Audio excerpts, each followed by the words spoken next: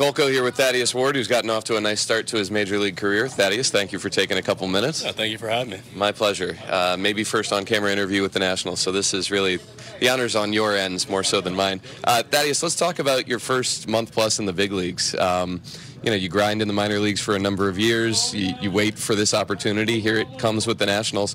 What has this last month plus been like for you? I mean, it's it's been great. It's really been everything you pretty much dream about when you're growing up and you think about what big league baseball is like. It's been pretty much every, every bit of that.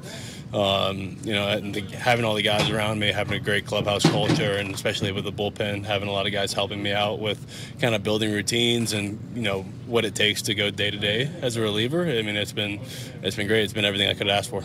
What part of it, either in terms of the on the field stuff, the stuff at the ballpark, or the stuff away from the ballpark, the travel, the hotel, whatever, has been maybe even better than what you had dreamed it would be? Um, I would say probably the travel and the hotel stay and stuff like that has been. I mean, obviously coming up through the minor leagues, you stay at Motel Six, and you're there from you know, after a 14-hour bus ride versus a three-hour plane flight. So it's been the travel and the hotels has been great. My, I mean, uh, my wife will absolutely attest to that. So yeah, it's been fantastic.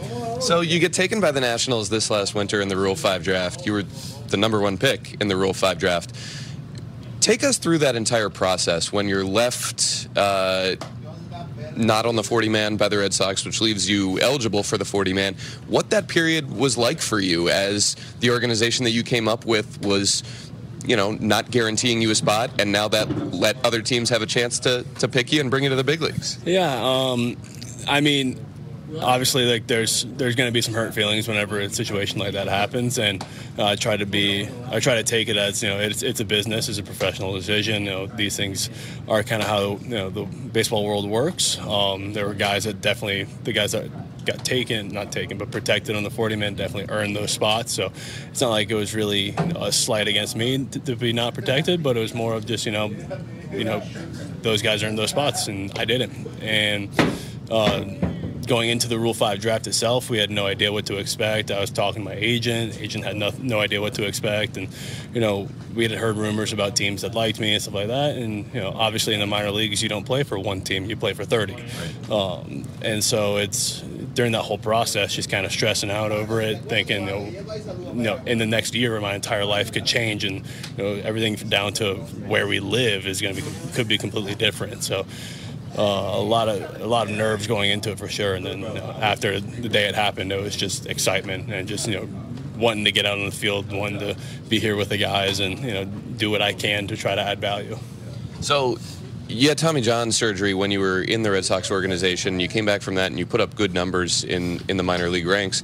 How do you feel like you've uh, progressed through that Tommy John rehab process and where you're at now, stuff wise, and just how you feel about the way that you're going about it? Um, I def- definitely learned a lot of things throughout the rehab process. You know, it's the biggest battle of the, re- the whole you know rehab is the actual mental side of it. Uh, the physical stuff is typically not your biggest concern because you know you have a great staff around you. They know what they're doing, and it's not their first rodeo but the mental grind of it is what really gets guys. And you know, you go through a lot of maturing and a lot of understanding. Like at first, you think, "What, what did I do? Uh, what didn't I do to try to prevent this?" And a lot of times, it comes down to it's just going to happen, and there's nothing you can really do about it. Um, I think some of the more important things I've learned is just mechanically kind of ways to be more sound and try to relieve some of this uh, pressure that I was putting on my elbow with the kind of the way I used to throw. And, you know, just I mean, you get 13 months of just hammering down on stuff like that. So it's really, it's all about how you take it. And I try to take it as like a blessing in disguise. You know, like get a break for 13 months, mm-hmm. don't have to play, but I get to just sit there and learn and watch guys and see what they do and how they keep themselves healthy. Healthy. So, what was the biggest takeaway there in that regard, mechanically or preparing your body uh, to for for the grind of throwing a baseball that many times? Um, so definitely.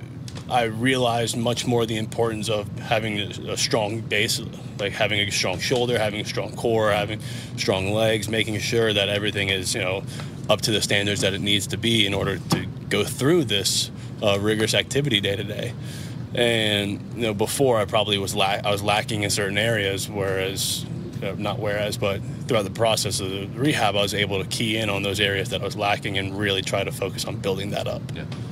So now you're in the bullpen with the Nationals. This is something that's new to you. You'd been a starter prior to now. How do you feel like you're acclimating to a role that to an outsider might not seem like it's that big of an adjustment, but for a guy that, as a starting pitcher, is very routine oriented and has days that he's not throwing, has days that he's getting in his workouts, has that now it's very different. Uh, what's that process been like? well, it's, it's been very different, that's for sure. Um, but again, I've, like I said earlier, I've had a great group of guys around me in the bullpen that have been doing this stuff for years, and you know, they've really taught me ways to make sure my body is ready to go through and be able to be available to pitch every day, uh, and different ways to kind of help with alleviating some of the soreness, some of the like pain, obviously that comes with having to do that every day, and you know, it's it's just been it's just been an adjustment really, and it's finding a routine that works that puts your body in the best position to be able to bounce back.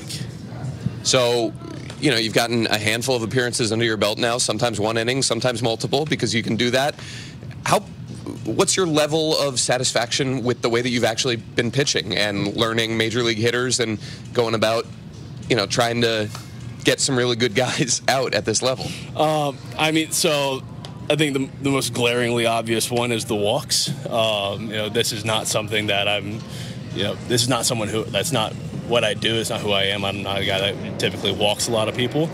Um, you know, throughout my career, I've had stints where I've walked a couple guys here and there, and but it's overall, it's I, I don't I'm not a guy that walks a lot of people, and that's something I'm definitely not happy about. And actually, something that we're working on constantly is making sure I'm staying in the strike zone because uh, one of the things I've, I've learned and kind of discovered is that my, my stuff plays here. You know, I, I can get guys out, I can get weak contact, I can go and get strikeouts when I need to.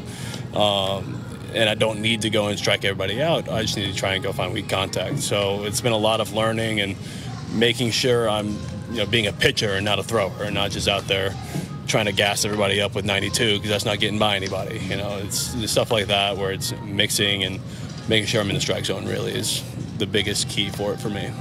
Thaddeus Ward off to a really good start here with the Nationals. Thaddeus, good job uh, keeping your wits about you with Lane Thomas and Mason Thompson staring in for part of this, and thanks for taking some time. Thank you for having me. It was, it was a pleasure.